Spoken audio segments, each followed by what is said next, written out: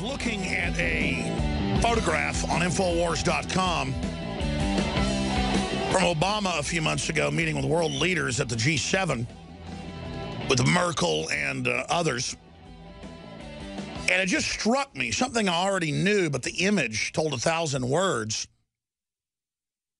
that whether it's the leader of France, the leader of England, or the leader of Germany, or the leader of the Netherlands, or the leader of the United States, or Canada, or South Africa, when you go look at who finances the campaigns and who owns the media in those countries and who is writing the agendas, it's a handful of mega banks that own the defense contractor companies and, of course, the insurance companies. And that's why they have the same government policies in England that we have in the U.S., that you have in Australia. It is all developed, rolled out, and deployed. And it's done incrementally to make it all sound reasonable. But what you see is a radical transformation of society to a totalitarian system. And that's what William Binney, number four at the NSA, highest level whistleblower ever, said a few months ago to The Guardian and a few weeks ago on this radio show. That the NSA is targeted to control political dissent and to bring in totalitarianism or total control. People say, hey, I want to play fantasy football and get drunk. I don't care. Do you want to know what the total control is? It's like people that say, I don't care if the government spies on me. I have nothing to hide. Really, why do you have blinds on your windows? Why do you lock your door? Because you may not have anything to hide, but your instinct is seal the front of the cave at night because the neighboring village might do a night raid on you and kill you and haul your women and children off. Or a big cave bear might come in and eat you and your family. Or wolves might come in. Or in modern days, the government in black uniforms might drag you away because that's what every government ends up doing when it's allowed to do what it wants. Because the worse the worst end up getting in because the public stands down and evil people crave control, basic psychology and they get control, and their worst dreams that are our nightmares come true. Ted Bundy had dreams. They're nightmares to us. Hitler had dreams. They're nightmares to us. Stalin had dreams. We call them nightmares. Jeffrey Dahmer had dreams. We call them nightmares.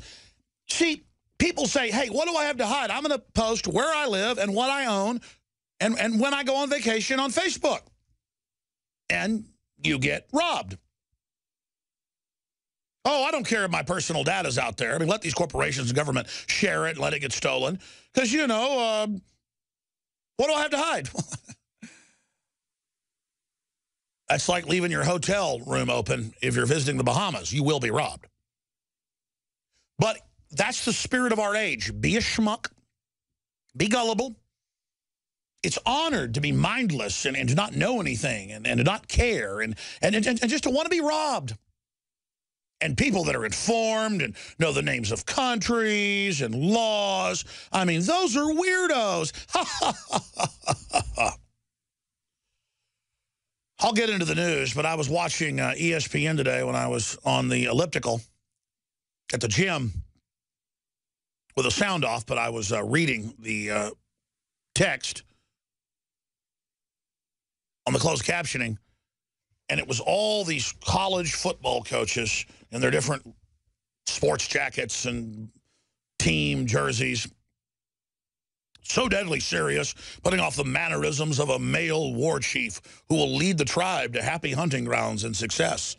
And, and, and, debating and arguing what would come up in the new year and how the games should work and how the bowls should work. And, oh, my gosh, it was so serious. Male soap opera.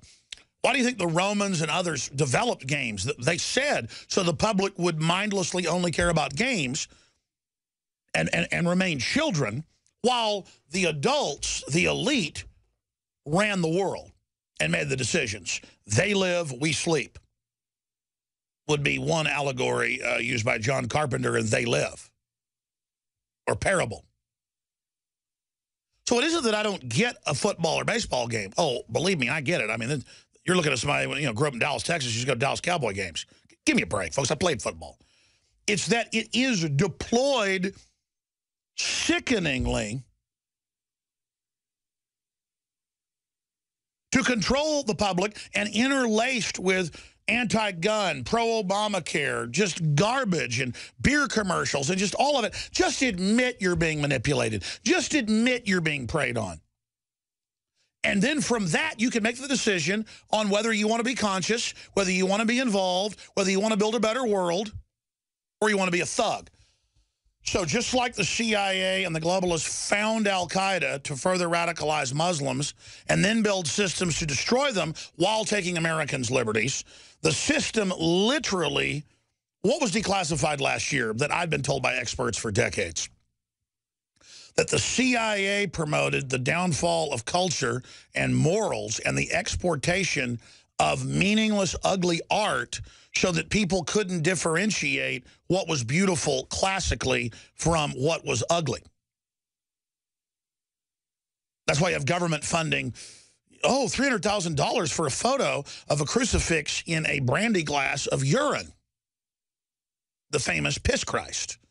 I don't say that to be vulgar. I'm just documenting it here. Sure, if you want to go do that, that's your First Amendment. I don't have to pay for it. Yeah, there's the London Independence headline. Modern art was CIA weapon. Boom. And even if you like some of the art, Pollock and others, the point was they would even put some good stuff out. Pollock, of course, was one of them. That's been declassified. So that they could set the precedent of what art was because you control style and art, you control everything.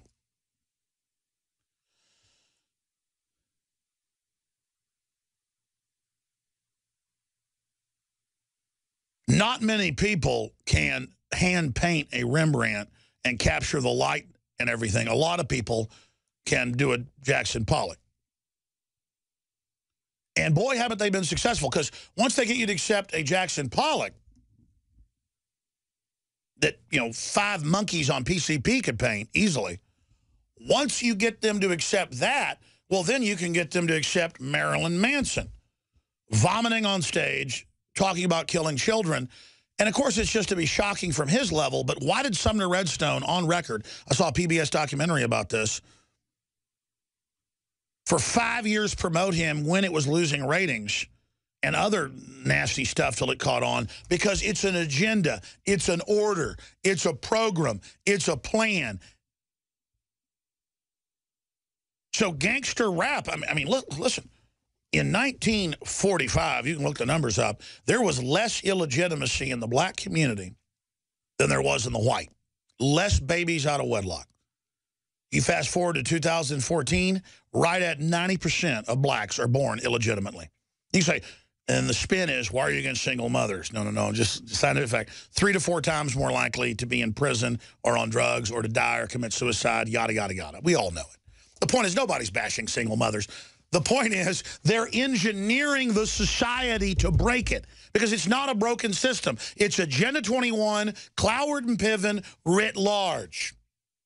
Agenda 21, Cloward, and Piven are just program names for a few agendas within the whole agenda to balkanize, dumb down, turn us into thugs, turn us into mindless idiots so that we won't stand up for anything. Blank slates of just worldly dumb people who will accept whatever's trending whether it be University of Texas football or whether it be self-mutilation or whether it be uh, Islamophobia, pick whatever version of it you want, or La Raza, Hispanic, Ku Klux Klan, La Reconquista, uh, or, or, or New Black Panther Party, Justice Department funded. It's all dividing us. While they've got new shows about fishermen, Northerners against Southerners, and they've got shows about black against white and man against woman, and that's how you get ahead in the world is getting to be part of a group and screwing over the other ones.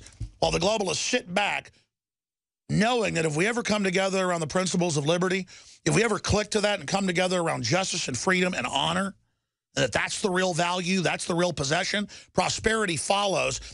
and then we have a new golden age of freedom, and then all these kleptocrats that have robbed us blind and stolen hundreds of trillions of dollars, and that are building giant FEMA camps now on record, and army manuals about mowing down crowds of people during collapse. None of that would have to happen. But I've watched the globalists in third world country and in old world countries and in Western countries now bring them down, destroy them to rebuild them in their image of tyranny. And so I can cover all this news, and I'm going to today. But until we pull back and look at the agenda of the ruling class that is not capitalist, that is not free market, they do everything they do under that guise while they fund the socialists, the fascists, the totalitarians, the communists, as Carroll Quigley wrote in the mid-1960s in Tragedy and Hope, 1,100 pages long. We sell the book back in print at InfoWarsStore.com if you dare read it. The head of Georgetown Political Science, Bill Clinton's mentor when he joined the Central Intelligence Agency and was sent to London, England with Hillary, his fake arranged marriage, classic spy, it's all declassified, who Bill Clinton thanked in his inauguration. Carroll Quigley explains it all, and he thought the public was so dumb. He argued for its public publishing, and at first it wasn't. He argues in the book that the public should be told about the world government plan, the eugenics plan, and he said the public is so dumb they're not going to want to know. Those that do want to know will, will want to join us. You might want to read it. It's 1,100 pages long. You want to know what runs the world, how everything operates? Re read Zbigniew Brzezinski's five books. Read Alvin and Heidi Toffler's books, which puts a, a, a, pop spin on it, but you'll find out. I mean, listen, what you're hearing from me is not my opinion. That's what I keep trying to get across to all you out there. They are putting poison in the water. They are putting nanotech garbage and cancer viruses and microplasms in the vaccines. They are brain damaging the public.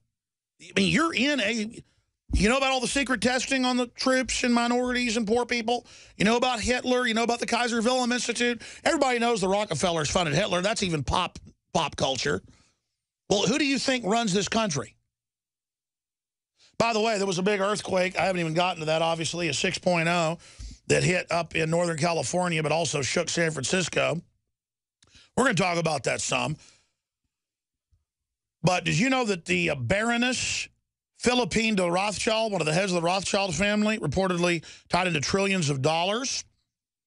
Very interesting lady. She died yesterday, right up there in Sonoma County where the earthquake centered. Thought that was an interesting coincidence. You might want to go look her up. Just type in, type her in. She always wore necklaces. She wore a, a Baphomet and a, a, devil around her neck at, at, at, at, all times. We have that up on screen. Just side issue. And yeah, they did release in a fashion magazine last year um, some Rothschild photos, like eyes wide shut stuff. But never mind all that. You know, Stanley Kubrick, he was just a director even though we've talked to his daughter that won't talk to anybody else, and she told me quite a bit of stuff. I don't know why I'm always told this stuff. I'm not allowed to talk about it. But uh, anyways, the point is, is these are very nice people. And uh, there you go. So put that in your pipe and smoke it. You can make of all that what you will.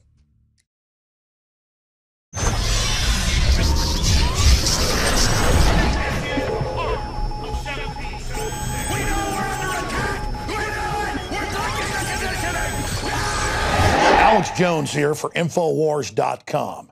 We're going to be intensifying our efforts to awaken free humanity to the scourge of the globalist in the month of July. And starting this July 4th, we are going to slash prices in a celebration of true Americana, the Bill of Rights, the Constitution, and the Declaration of Independence on all of the made in America products that you will find at madein1776.com or InfoWarsStore.com. We're talking about Made in America belt buckles in brass and nickeled brass that state it loud and proud. Molon Labe. That's why we have the best-selling Made in America men's and women's Molon Labe Infowars.com shirts. Ladies and gentlemen, this is a win-win.